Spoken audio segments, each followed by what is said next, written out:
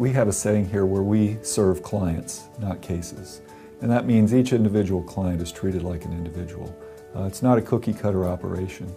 Uh, if you would liken it to uh, you know, a construction company, each case that we have, we build a custom home uh, for the person. So each individual case is treated just like an individual case. I guess what it comes down to is really caring about your clients. I've always had a very good relationship with my clients, very close.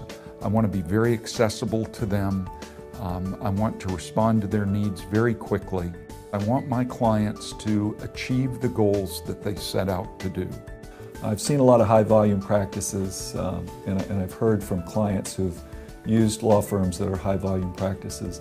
And the problem with those types of practices is that some of the cases that are um, um, you know, either smaller or not quite as high value uh, they, they get the short end of the stick. They, they don't really get the treatment that they should get here. What we do is each case is handled on its own merits and we take the case uh, as far as it needs to go. Being a full service firm, we help clients no matter what their problems are.